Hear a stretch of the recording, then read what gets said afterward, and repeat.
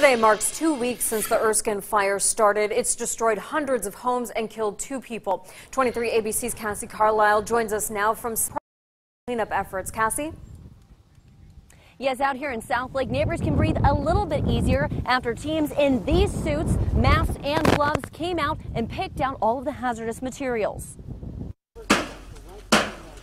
Kern County Public Health has a big job ahead of them. Find all the hazardous materials that are a, basically an immediate threat to people's health and get that out of there. Suited up with masks and gloves, picking through the rubble.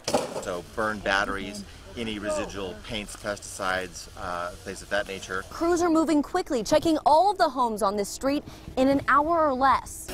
They have 285 homes to go through before the state can come in and remove what's left. If they don't have insurance, which many people out here don't, this is their only way to get it done. A free service that helps residents get back to the beginning. Then I think the residents will have, I think, a better timeline of when they would actually be able to start to rebuild. In the meantime, neighbors left behind and homeowners visiting their property will be able to breathe a little easier.